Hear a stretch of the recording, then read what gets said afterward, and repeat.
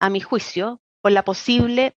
no hay antecedentes por lo que veo actualmente, pero eventualmente aquí se puede generar un, delito de obstrucción a la investigación, que eso lo tiene que ver el Ministerio Público, pero existe, existe algo que sucedió que todos los antecedentes que tenemos en la carpeta eh, significan entonces que el imputado en el cumplimiento de sus funciones debía determinar, cumplir determinado protocolo y ha quedado demostrado que no fue así, em, eh, o que si fue así,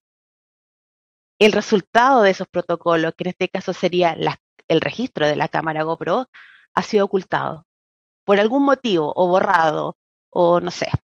Entonces, eso es materia del Ministerio Público, pero ese